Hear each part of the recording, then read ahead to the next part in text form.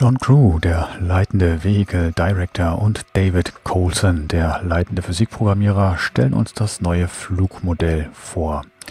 Für die Arbeiten am Flugmodell blickt CRG auch zurück auf die alten Builds, wertet aus, was gut funktioniert hat und was weniger gut funktioniert.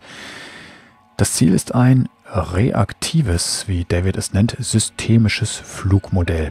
Das heißt, neben einem gewissen Grad an Realismus, dass man zu jeder Zeit fühlen können soll, was mit dem Schiff los ist, wenn Systeme zum Beispiel ausgefallen sind, wenn das Schiff beschädigt ist und natürlich sollen auch die Energieversorgung und Treibstoffzufuhr das Flugmodell beeinflussen. Aktuell gibt es das alles noch nicht. Darüber hinaus soll sich jedes Schiff anders fliegen lassen. Man ist also mit einem Schiff vertraut und weiß, wie man damit Kämpfe gewinnt, dann soll das mit einem anderen Schiff nicht der Fall sein, da es ein komplett anderes Flugverhalten zeigt. Die Schub- und Manöverdüsen sollen unterschiedliche Stärken haben, sodass eine Änderung der zugrunde liegenden Werte umgehend Änderungen des Flugmodells nach sich zieht. Es folgt eine kleine Demo, bei der mir sofort auffällt, dass die Gladius wie ein Düsenjet in der Realität zwar die Nase nach oben zieht, das Schiff aber von seiner Masse und Geschwindigkeit anfangs noch ein wenig in die bisherige Flugrichtung gezogen wird, bevor es dann in die neue Richtung abdüsen wird. Ein ähnliches Phänomen können wir hier bei der Aurora sehen. Das Schiff lenkt zwar nach rechts, wird aber durch Masse und Geschwindigkeit noch einen Augenblick lang weiter in die vorherige Flugrichtung gezogen. Weiter geht's zu den Neuerungen der Schubdüsenfunktionen. Es ist bis dato so, wenn man den Schub rausnimmt, dass das dementsprechend sofort den Schub vom Schiff nimmt. Das heißt, dass das Schiff langsamer wird und man irgendwann zum Stehen kommt.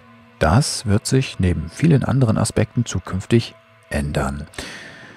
Und darauf nehmen John Crew und David Coulson, insbesondere David Coulson, in den nächsten Abschnitten Bezug. Als erstes gibt es einen Unterschied im Coupled und Decoupled Modus. Man hat unten im Display einen Punkt, an dem die Zielgeschwindigkeit gesetzt ist, die man durch die Funktion Match Target Velocity, also die Übernahme der Geschwindigkeit des Ziels, definiert hat. Im Coupled Mode ist das IFCS-System nun ständig bestrebt, diese Geschwindigkeit zu erreichen. Im Decoupled Mode tut sie das nicht. Die nächste Neuerung betreffend des Schubs ist, dass das Schiff physikalisch korrekt im Weltraum weiter in der Geschwindigkeit fliegt, die dem zuvor genutzten Schubpegel entspricht. Fliegt man also mit 100 Meter pro Sekunde in eine Richtung und setzt dann den Schub zurück auf Null, so war es bisher so, wie ich gerade schon angedeutet habe, dass das Schiff nach und nach langsamer wurde und irgendwann zum Stehen kam. Das ist jetzt nicht mehr der Fall. Das Schiff würde nun quasi unendlich in die gegebene Richtung mit der gegebenen Geschwindigkeit fliegen, solange man nicht Gegenschub gibt anhand der sogenannten Retro Thrusters. Den Afterburner mit seiner ersten und zweiten Stufe gibt's nicht mehr. Man drückt also nicht mehr den Afterburner, sich inständig fragend, wann man denn nun den Cruise-Modus erreicht hat. Anstattdessen nutzt man nun den Boost, der der neue Afterburner ist. Man drückt also Shift und erhält einen kurzen oder längeren Schub, je nachdem wie viel zusätzlichen Sprit man verbrennen will. Das Nutzen des Afterburners hat also jetzt deutliche, vielleicht auch schmerzhafte Konsequenzen, wenn man sieht, wie der Treibstoffvorrat im gleichen Atemzug sozusagen verbrannt wird. Aber wie gelangt man nun in den Cruise-Modus, also den Reisemodus? Nun, das ist einfach. Man beschleunigt so lange, bis das Schiff seine Maximalgeschwindigkeit erreicht hat, kappelt oder dekappelt. Das ist dann die Reisegeschwindigkeit. Es gibt eine weitere kleine Änderung. Wenn man den sogenannten Safe Maneuvering Speed überschreitet, also die sichere Manövriergeschwindigkeit, dann limitiert das IFCS die Schubkraft der Manövrierdüsen, der Manöverdüsen. Das soll vermeiden, dass man versehentlich das Schiff dreht und trotzdem Meilen um Meilen weiter geradeaus driftet. Im Decoupled-Modus werden die Manövrierdüsen nicht limitiert.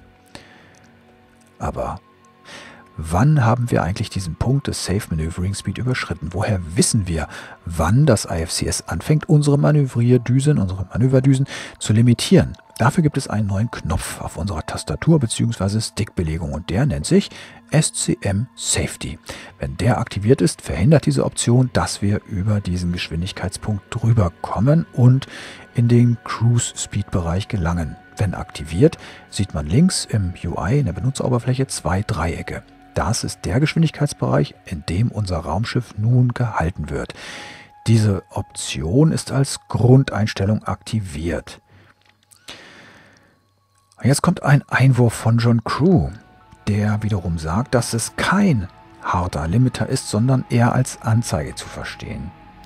Das verwirrt mich jetzt, weil das konträr ist zu der ersten Erklärung. Ist es nun ein Limiter oder ist es nur eine Anzeige?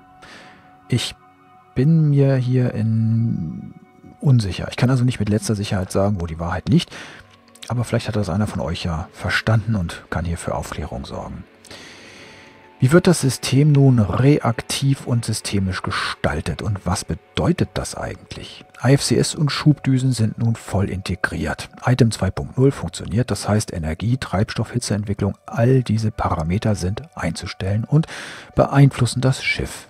Die Manöverdüsen basieren auf Vasimir-Maschinen, wird uns erklärt.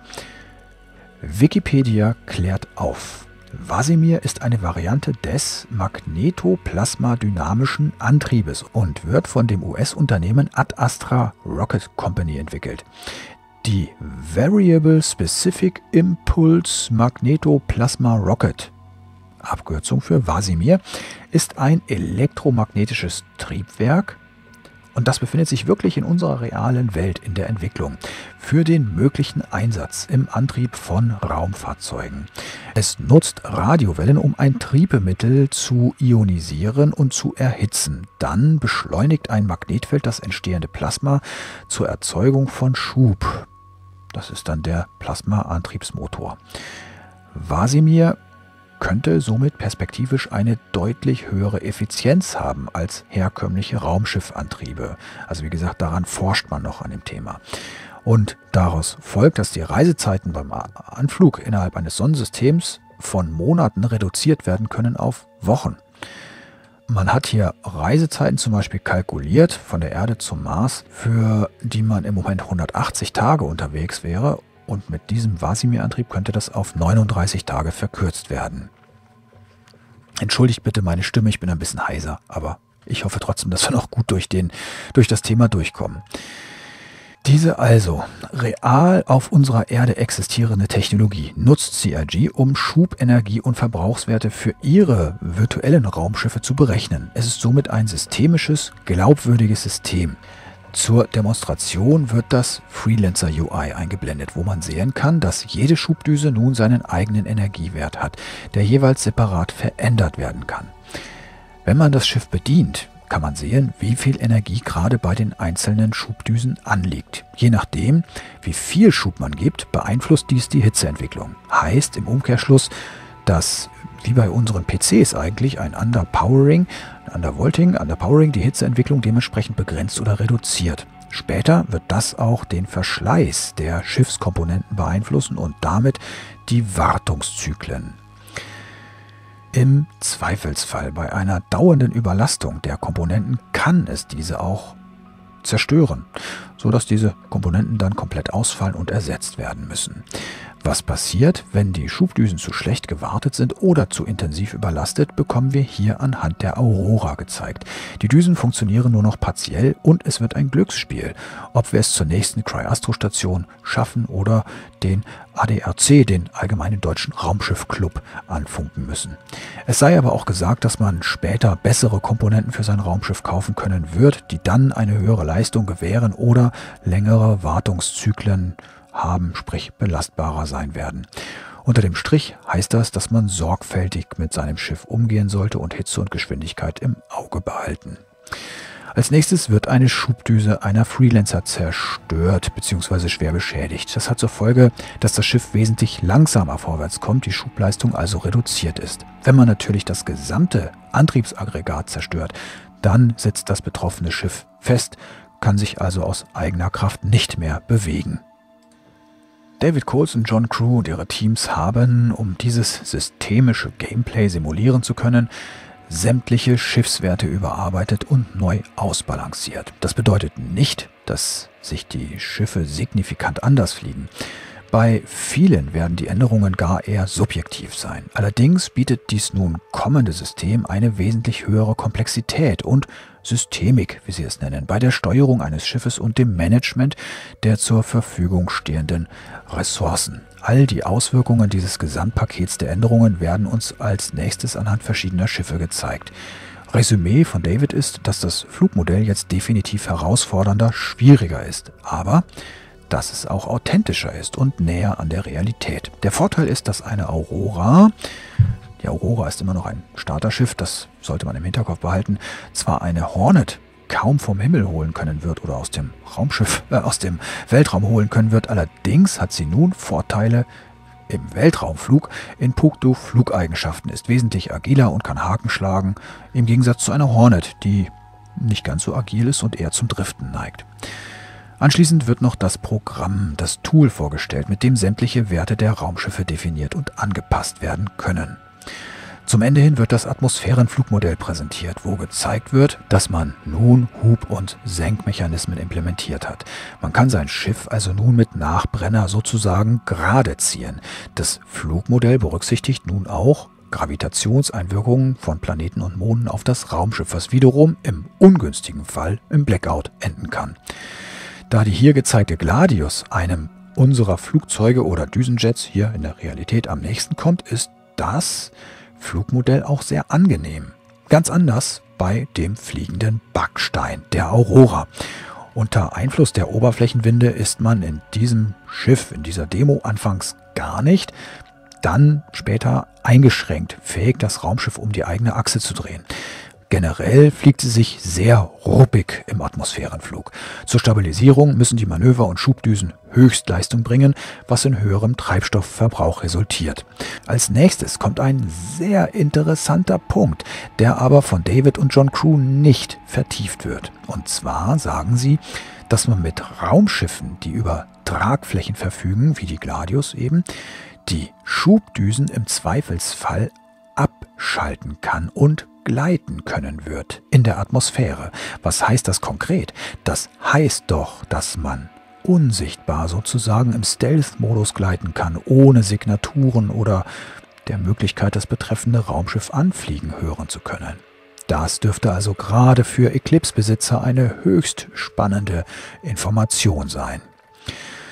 Anschließend wird auch noch erzählt, dass sämtliche Audioeffekte aller Schub- und Manöverdüsen aller Schiffe überarbeitet worden sind. Außerdem hat man, wie gesagt, am Decoupled-Modus gearbeitet, sowie sich um die Dual-Stick-Nutzer gekümmert und nicht zuletzt die Flug-KI-Systeme weiterentwickelt und die zugrunde liegenden Berechnungen optimiert, sodass unsere CPUs weniger belastet werden. All das wird, Plan heute, mit 3.4 Einzug ins Verse finden. Also an Langeweile leiden die Jungs dort nicht. Zuvor wird noch bis zum Release von 3.4 bzw. während der Arbeiten an 3.3 noch an den Hoverbikes gearbeitet, notwendige Netzwerkkomponenten ISP und Flugkontrollen, Verbesserungen an den Benutzeroberflächen sowie dem Lande- und Dockingsystem weitergearbeitet. Und das war's. Mit diesem zwar nicht so aufregenden, aber doch sehr interessanten und spannenden Vortrag zu den Neuerungen des Flugmodells.